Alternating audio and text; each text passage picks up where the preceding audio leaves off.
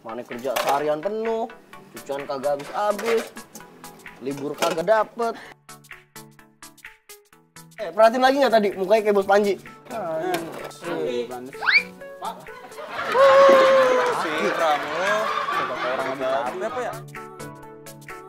Ada hadis gitu kan katanya yang intinya begini kalau sorenya kita kelelahan gitu karena apa yang telah kita kerjakan maka sore itu tuh kita dapat pengampunan dosa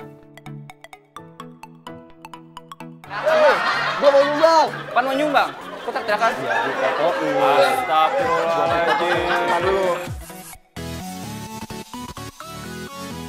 kata Rasul nih Heeh. ini akhafu ma akhwafa alaikum asyirkul asghar ay riya kata jadi eh, yang kutakutkan dari seluruh yang paling kutakutkan itu adalah hambaku ini akhafu ma akhwafa alaikum. Kepada umatku itu adalah syirik kecil kecil kecil. atau ria. Oh